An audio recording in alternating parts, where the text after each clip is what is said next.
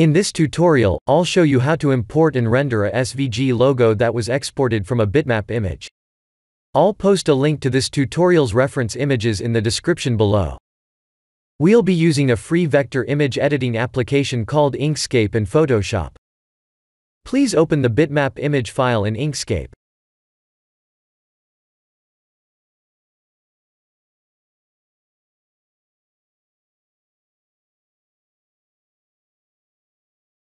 Let's go to Path and trace bitmap. Let's press OK and close the window.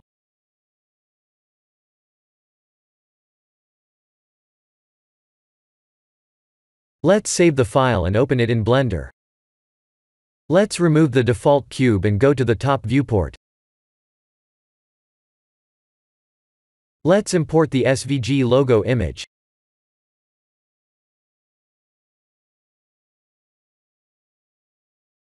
Nothing? Let's go to Inkscape and try tracing the bitmap again.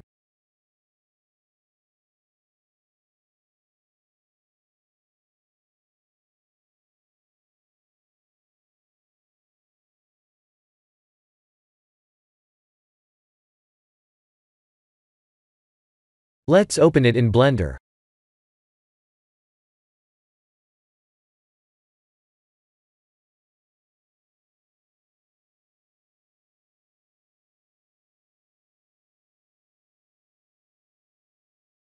Let's convert this curve to mesh.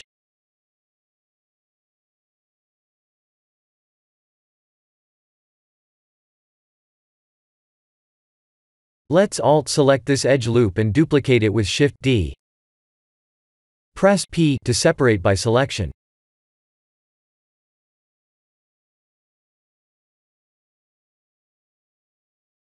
Let's move the origin to geometry.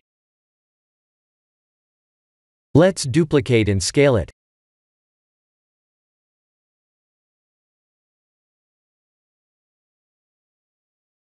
We need to join these two edge loops with Ctrl J and bridge edge loop them in edit mode.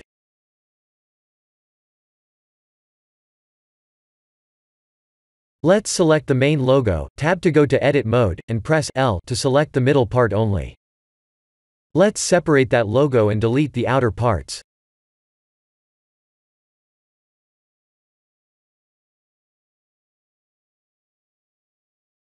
If too much vertices bothers you for some reason, just go to edit mode and press X to do a limited dissolve.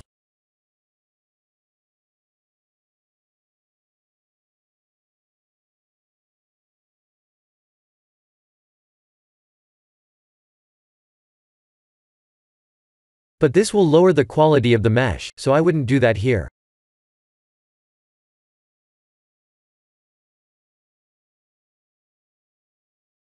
Let's select this outer edge loop with Alt-select and separate that as well.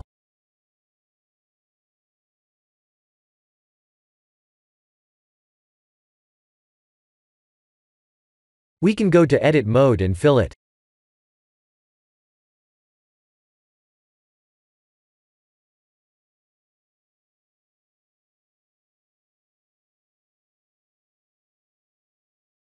Let's extrude these faces.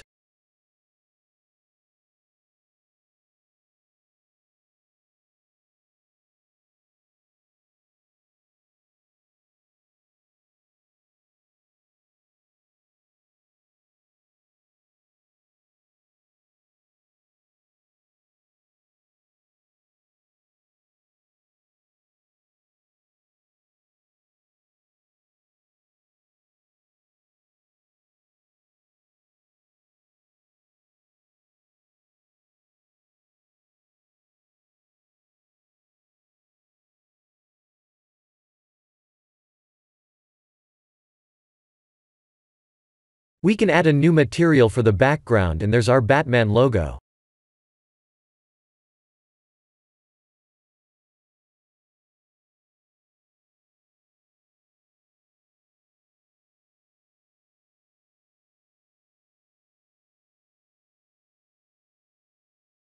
Let's create a background and use the noise node to add some details.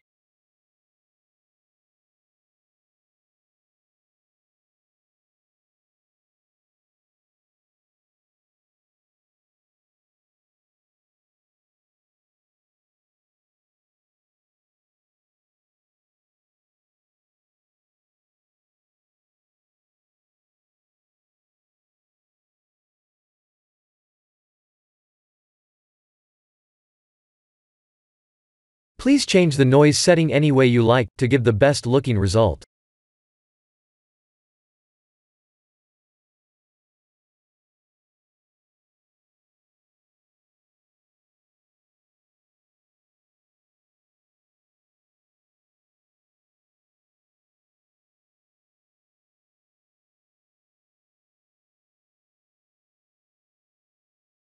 This ground will serve as Joker's vat of acid, and as you can see, it does nothing to anything associated with Batman.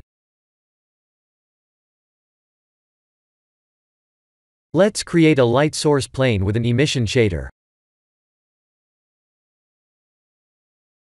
After duplicating the plane, we need to make sure they're not using the same material.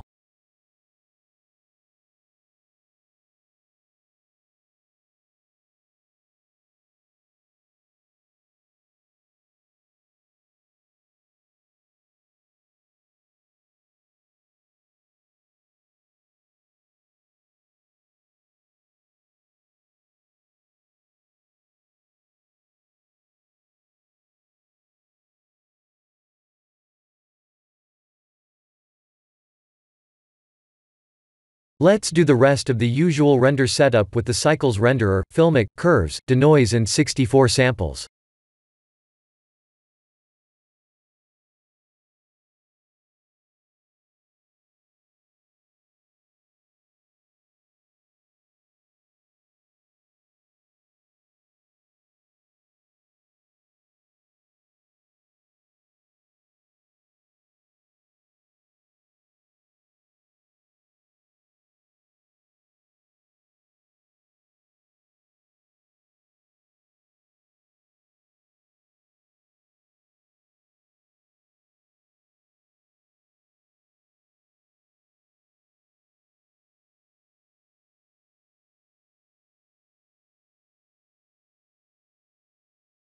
Let's lower other light settings as well.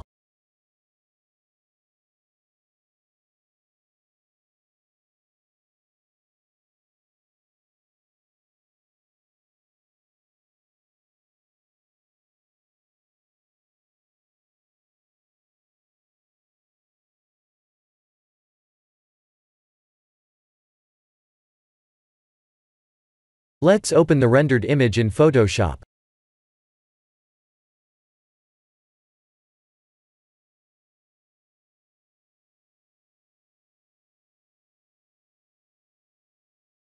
We can adjust the levels like this.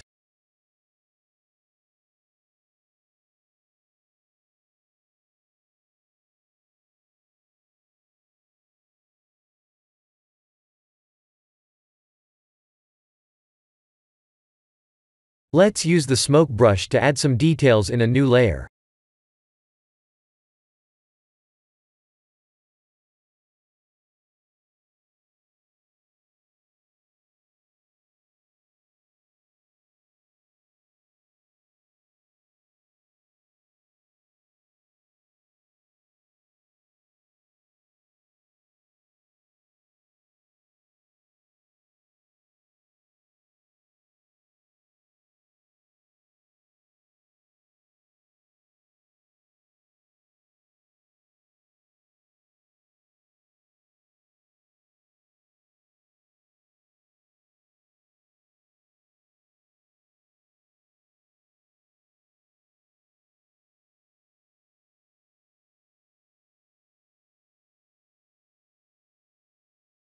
This is the end result.